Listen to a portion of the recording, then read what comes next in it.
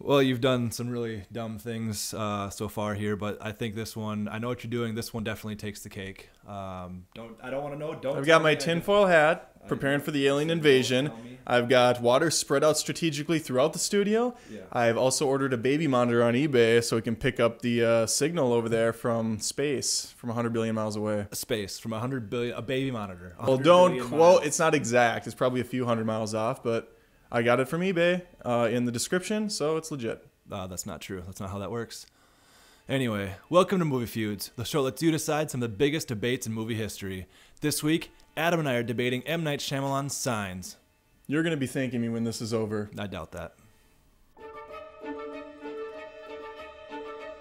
Signs, like all M. Night movies, is very character driven. And who's at the wheel? Oh, none other than Mel Gibson. Who's in the passenger seat? Oh, no big deal, just Joaquin Phoenix. And who do we got in the back? Oh, just one of the Culkin brothers. Don't forget the fourth passenger, M. Night Shyamalan himself. Another great actor. He's in The Village. He's in The Sixth Sense. He's in Lady in the Water, Unbreakable. all those movies. Exactly. Let's get back to the real actors in this picture. Mel Gibson. We know this guy's got the chops for acting because look at his real life persona. He's batshit crazy. You got Rory Culkin walking in his brother's shoes, really coming into his own as an actor in this movie. Poor man's Macaulay. You gotta love him. Why didn't they get Macaulay Culkin for this movie? I mean, was he busy? Was he just. What was he doing? You know he's gonna be a better movie star. You know, he's hanging out at home, alone, setting up traps, you know, taking out burglars, that sort of thing. Hanging out with Corey Feldman and the other washed up child stars. Sir Joaquin Phoenix, he's not a sir, I just wanted to say it, but he's really, he really does a bang up job in this one. In fact, it's the only movie I like him in. What else might be a possibility? I couldn't disagree more.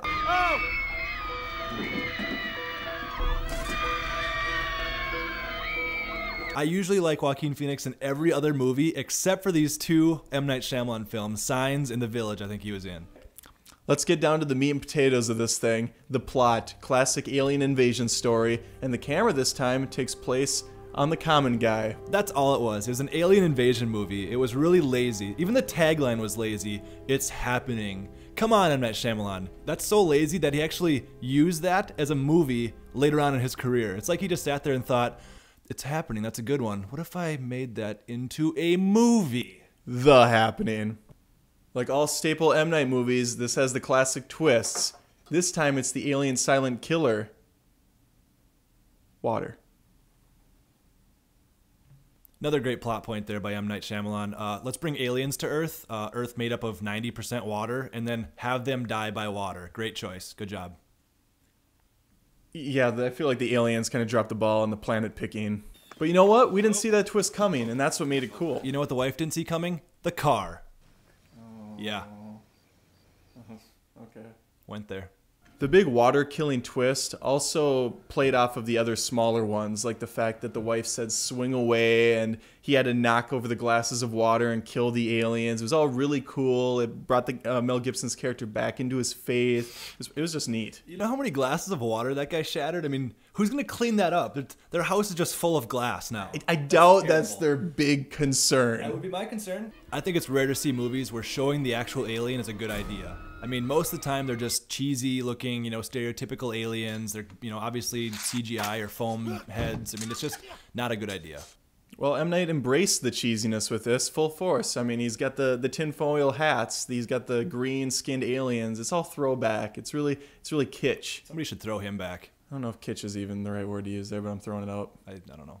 The bottom line is M Night is a great visionary who lost his way somewhere along the lines, and he needs to get back to his roots and make more movies like The Sixth Sense and The Signs. Not signs, just the sixth sense. He just has one root. It's the sixth sense. He just needs to go there. There's a couple roots. They're growing. No, they're dying. Well, I feel like we've just beat this movie to death, and the only thing left to do now is throw water on it, make it go away. But before we do that, we want to hear from you. Let us know what you thought about the movie Signs. Leave us a comment at facebook.com slash moviefeuds or on the show page at moviefeuds.com. And now you're drinking the water. That's great. It's awesome. It serves multiple purposes, fending off the aliens, and gives me something to drink. It's not even one really good purpose at all. It's giving me sustenance. Mm. More than just reviews, this is Movie Feuds.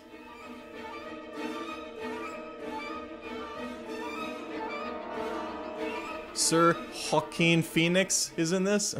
I said it so good. sir? Just throwing a sir in front of it. Let us know what you thought about M. Night Shyamalan's Signs. Leave us a comment at facebook.com slash moviefeuds or on the show page at moviefeuds.com. Now you're drinking the water. It's... It serves multiple person. Per- Oh, wow! You, you ruined that entire thing. Ah! Seriously, M. they chose the aliens choose Earth out of all the options. They got Mars and stuff. Jesus. That's good. And then I can do that. Yeah, kind of dropped the. I feel like they kind of dropped the ball on picking up on the planet picking. How do I stop this? How do I stop this? How do I stop this? I gotta wait for it to. I gotta wait for it to hang up. Is this recording? God damn.